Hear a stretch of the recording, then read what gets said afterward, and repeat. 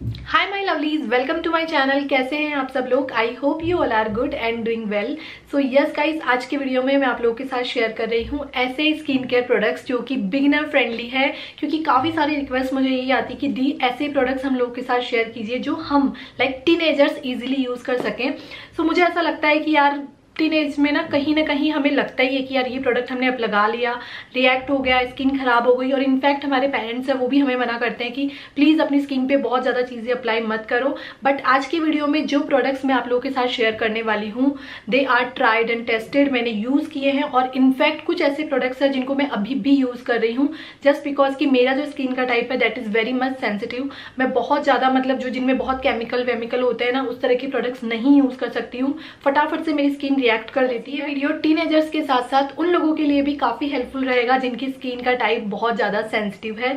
सो या make sure कि अगर आपको वीडियो अच्छा लगे, आप लोगों के लिए हेल्पफुल रहे तो प्लीज़ वीडियो को लाइक ज़रूर से कीजिएगा। और मेरे चैनल पर नए हो तो चैनल को सब्सक्राइब करना बिल्कुल ना भूले।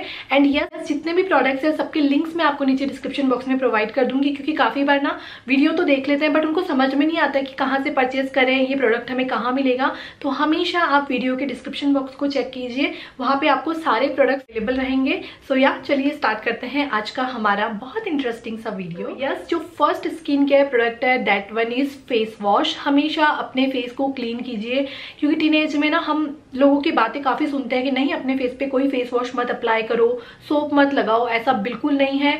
जब तक आप अपनी स्किन को क्लियर नहीं करोगे ऑयल डर्ट इम्प्योरिटीज को नहीं निकालोगे, तब तक आप कुछ भी अप्लाई कर लो, उसका कोई मतलब नहीं है। आप जस्ट इमेजिन करो कि एक बर्तन है, अगर आप, वो बहुत ऑयली है, अगर आप उसको साबुन से साफ़ नहीं करोगे तो यू कैन इमेजिन कि वो साफ़ होगा, नहीं होगा। इसीलिए आपको बहुत माइल्ड सा एक फेस वॉश अपनी स्किन पर ज़रूर से यूज़ करना चाहिए, क्योंकि स्किन को क्लियर रखना बहुत ज़्यादा ज़रूरी है। तो इसके लिए मैं आपको दो फेस वॉश रिकमेंड करूँगी। First one is purifying neem face wash ये आई थिंक सब लोग यूज़ कर चुके होंगे और काफ़ी लोगों का फेवरेट होगा, अभी भी यूज़ करते होंगे। लिटरली मेरे पास ये हमेशा रहता है मतलब मेरे बाथरूम में ये कभी खत्म नहीं होता, जैसे ही खत्म होता है मैं फिर से इसको रीस्टॉक कर लेती हूँ। क्योंकि ये जो फेस वॉश है ना, ये बेसिकली एक्ने प्रॉन स्किन के लिए काफ़ी ज़्यादा अच्छा है और सबसे बड़ी बात की बहुत अच्छे से क्लियर करता है स्किन को। मतलब आपको खुद को फील होगा कि यस हमारी स्किन अच्छे से क्लियर हो गई है और टीन के लिए तो सबसे best best best face wash है। है। अगर आपको कुछ भी नहीं समझ में आ रहा ना तो आप ये वाला ज़रूर से बाय कर सकते हो।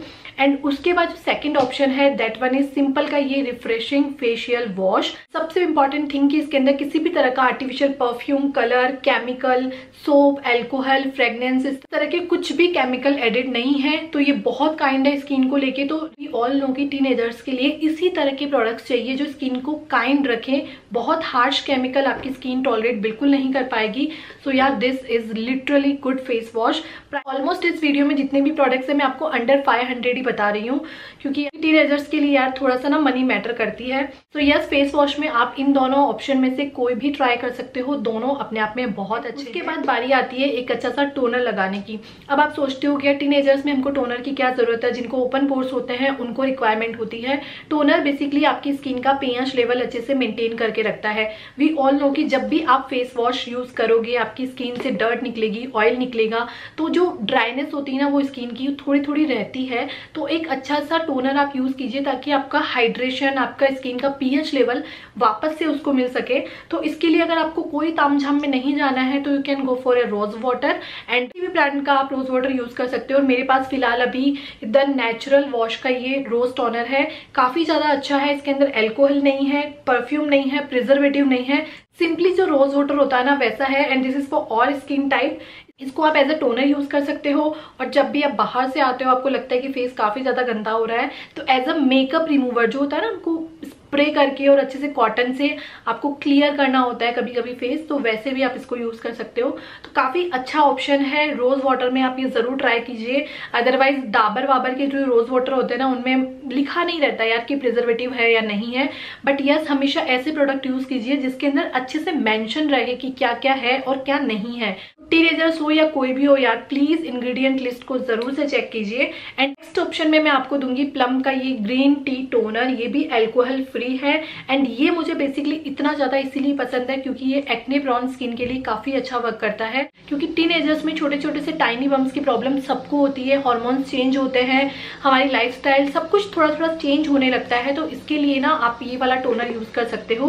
फेस को अच्छे से हाइड्रेट रखेगा. पीएच लेवल भी मेंटेन करेगा और समहाउ आपकी जो एक्ने रिलेटेड प्रॉब्लम है उस पर भी ये कंट्रोल करेगा. उसके बाद बारी आती है एक अच्छा सा मॉइस्चराइजर लगाने की. तो अभी आप बोलोगे दी सीरम क्यों हम यूज़ ना करें? प्लीज़ ट्रस्ट मी सीरम लगाना बिल्कुल ज़रूरी नहीं होता है। अगर आपकी स्किन में प्रॉब्लम है, आपको एक्ने रिलेटेड प्रॉब्लम है, आपको एक्ने स्कार्स है, आपकी एजिंग रिलेटेड प्रॉब्लम स्टार्ट हो गई है, तब जाके आप अच्छा सा कोई सेरम यूज़ कीजिए। जैसे कि वाइटामिन सी नया सीनेमाइड रेटिनॉइल ये सब प्रॉब्लमेटिक एरिया को कवर करने के लिए होते हैं। ये एसेंशियल नहीं है। आपकी स्किन केयर रूटीन में आपको सेरम यूज़ करना बिल्कुल ज़रूरी नहीं है। यस अगर आपको पिगमेंटेशन की प्रॉब्लम है एक्ने स्कार्स है, तब आप वाइटामिन सी ले सकते हो। एक्सेस में ऑयली स्किन है, आपकी एक्ने स्कार्स है तो आप नया सिनेमाइड ले सकते हो।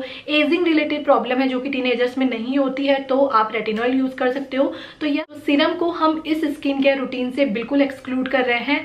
हम अभी यूज़ करने वाले हैं एक अच्छा सा मॉइस्चराइजर एंड मॉइस्चराइजर के लिए आप ये वाला ज़रूर से ट्राई कर सकते हो। This is Pond's super light gel moisturiser काफ़ी अच्छा मॉइस्चराइजर है। Hyaluronic acid and vitamin E के साथ आता है। हाइलोनरिक एसिड आपकी स्किन से वाटर लेवल का बैलेंस बना के रखता है। आपकी स्किन को हाइड्रेट रखता है। Vitamin E we all know की बहुत अच्छे लेवल में एंटीऑक्सीडेंट होते हैं, जो बेसिकली हमारी स्किन के लिए काफ़ी ज़्यादा अच्छे होते हैं। तो ये कुछ ना इस तरह का आपको जेल कंसिस्टेंसी में मिलता है।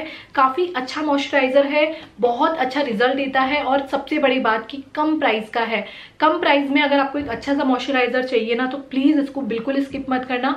स्किन पे बिल्कुल ऑयलनेस भी नहीं छोड़ता है हाइड्रेट भी रखता है सॉफ्ट एंड सप्पल लगती है आपकी स्किन आँखें बंद करके आप ये वाला मॉइस्चराइजर यूज़ कर सकते हो एंड ट्रस्ट में ज़रूरी नहीं है कि अगर आप बिगिनर्स हो तो ही यूज़ करो। ये मॉइस्चराइजर बेसिकली सबके लिए काफ़ी ज़्यादा अच्छा है, और मैं तो यूज़ करती हूँ यार इसको। बहुत अच्छा मॉइस्चराइजर है। एंड उसके बाद एक और मैं आपको ऑप्शन देना चाहूँगी that one is dot and key का ये cica calming skin care night gel basically ये ना नाइट जेल है बट मैं इसको डे में भी यूज़ कर रही हूँ। काफ़ी अच्छा है, बहुत कामिंग इफ़ेक्ट देता है स्किन को बहुत अच्छे से हाइड्रेट रखता है एंड इसकी कंसिस्टेंसी भी आपको काफ़ी जेल टाइप की मिल जाती है। सी दिस तो इसको लगाने के बाद ना एकदम सूदिंग लगती है आपकी स्किन हाइड्रेट लगती है। और इधर भी हाइलोनिक एसिड है एलोवेरा एक्सट्रैक्ट है, काफ़ी सारे ह्यूमिकटेंट्स है जो बेसिकली आपकी स्किन के लिए काफ़ी अच्छा काम करते हैं। ये भी मेरा अभी करंट फेवरेट मॉइस्चराइजर है, काफ़ी ज़्यादा अच्छा लगा मुझे ये वाला भी। तो ये मॉइस्चराइजर के लिए मैं आपको दो ऑप्शन दूँगी। नाइट में अगर आप कुछ लगा के सोना चाहते हो तो आप ये वाला ट्राई कर सकते हो और दिन में आप ये वाला मॉइस्चराइजर लगा सकते हो।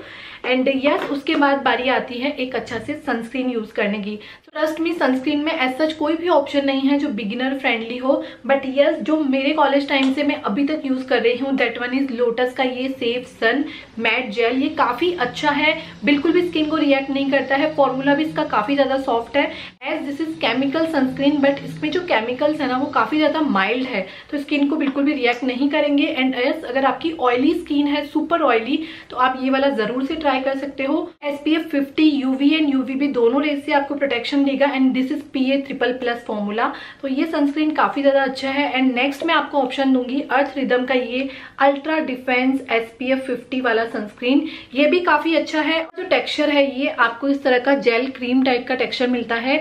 ये भी स्किन के अंदर काफ़ी जल्दी से सोकिन हो जाता है एंड सबसे बड़ी बात की इसके अंदर शुगर कैन डिराइव्ड है।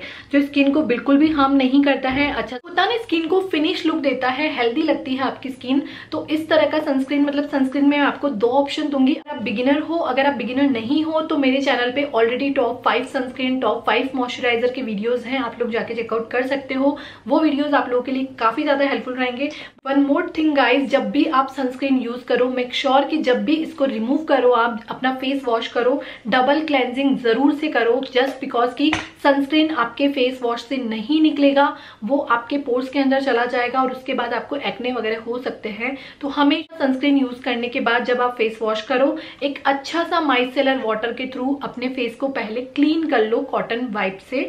सो so, का माइसेलर क्लेंजिंग वाटर मैं आपको रिकमेंड करना चाहूँगी। इनके लिए काफ़ी ज़्यादा काइंड है एंड वी ऑल नो कि सिंपल्स के प्रोडक्ट्स काफ़ी ज़्यादा अच्छे आते हैं मतलब perfume colour harsh chemical mineral oils इस तरह के मतलब कुछ भी केमिकल नहीं होते हैं तो ये माइसलर वाटर आप यूज़ कर सकते हो। मेकअप निकालने के लिए सनस्क्रीन निकालने के लिए, बाहर से आ रहे हो पोल्यूशन है डर्ट है इम्प्योरिटीज है, उसको आपको निकालना है तो जस्ट नॉर्मल कॉटन वाइट पे आप ये वाला माइसलर वाटर लीजिए और अच्छे से फेस को क्लीन कर लीजिए एंड उसके बाद अपना फेस वॉश आप कर सकते हो। सो यस टीनेजर्स के लिए बहुत ज़्यादा तामझाम की नीड नहीं है, बहुत सिंपल से स्किन केयर प्रोडक्ट्स मैंने आप लोग के साथ शेयर किए हैं। कॉस्टली भी नहीं है अंडर 500 आपको सारे प्रोडक्ट्स मिल जाएँगे। ट्रस्ट मी काफ़ी ज़्यादा अच्छे हैं। अगर आप कंफ्यूज हो रहे हो कि टीनेजर्स हूँ मुझे कौन सा फेस वॉश मॉइस्चराइजर सनस्क्रीन कौन सा यूज़ करना चाहिए तो आई एम डैम श्योर कि ये वीडियो आप लोग के लिए बहुत हेल्पफुल रहा होगा। सो so, या अगर आपको अच्छा लगा है वीडियो तो लाइक बटन पे ज़रूर से क्लिक कर दीजिए फटाफट से। सब्सक्राइब तो आई नो कि आप मेरे चैनल को कर चुके होंगे। सो so, या डिस्क्रिप्शन बॉक्स को ज़रूर से एक बार चेक कर लीजिए। सारे प्रोडक्ट्स मैंने आपको वहाँ पे प्रोवाइड कर दिए हैं। सो या thank you for watching this video guys मिलते हैं अगेन एक नए वीडियो के साथ। तब तक के लिए टाटा बाय बाय